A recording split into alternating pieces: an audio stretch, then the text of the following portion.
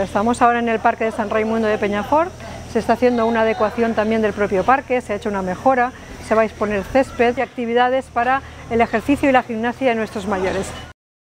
Y esta mejora seguirá hacia Picaña en esa adecuación de, de, la ampliación del carril bici, que tiene una ampliación que se hará en años posteriores, todo un proyecto elaborado de esa gran vía verde para que aquellos que nos gusta ir a andar, a pasear o a ir en bicicleta, lo hagamos en esas condiciones de un carril amplio, cómodo y que además no tenga ningún inconveniente para las personas que van corriendo, los que van andando y las que van en bicicleta. Con una premisa muy clara de trabajar por las personas y por los vecinos de Torrent.